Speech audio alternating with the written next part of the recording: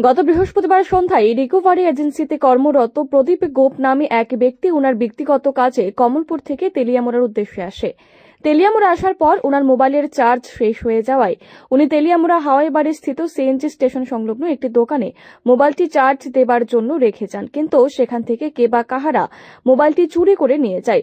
পরে মোবাইল মালিক প্রদীপ গোপ দোকানে এসে বহু খোঁজাখুঁজি করার পরও মোবাইলটি তিনি খুঁজে পাননি। বৃহস্পতিবার রাতেই তিনি তেলিয়ামোড়া থানায় এই ব্যাপারে লিখিত অভিযোগ জানান। তেলিয়ামুড়া থানার পুলিশ অভিযোগ হাতে পেয়ে শুক্রবার তদন্ত শুরু করে। তেলিয়ামুড়া হাওয়াই বাড়ি স্থিত সিএনজি স্টেশন সংলগ্ন যে দোকান থেকে ওই মোবাইলটি হারানো গিয়েছিল, সেই দোকানের পেছনের মাটির নিচ থেকে মোবাইলটি উদ্ধার করতে সক্ষম হন। পুলিশি তৎপরতায় নিজের চুরি হয়ে যাওয়া মোবাইলটি পুনরায় ফিরে পেয়ে তেলিয়ামোড়া থানার পুলিশের প্রতি কৃতজ্ঞতা এবং ধন্যবাদ জানিয়েছেন মোবাইল মালিক প্রদীপ গোপ কাজ করি, ঠিক আমি কালকে কমলপুর থেকে আবার পর সন্ধ্যা মিনিমাম সাড়ে ছয় থেকে পনেরো সাতটা বাজে তো ট্রেন স্টেশনে গিয়েছিলাম গ্যাস নেওয়ার জন্য। তো গ্যাস নিতে গিয়ে দেখি আমার মোবাইলে একদম ব্যাটারি লো হয়ে গেছে। তো তার কারণে একটা চার্জ ওয়ার যে চার্জ খাইতে গিয়েছিলাম আর মোবাইলটা একটু চার্জে করেছিলাম চার্জে পাওয়ার সঙ্গে সঙ্গে পাঁচ মিনিট দশ মিনিট পর মোবাইলটা নিখোঁজ হয়ে গেছে। তো আমি নিরুপায় এসে আমি তেলিয়ামোড়া পেয়েছে আইছি।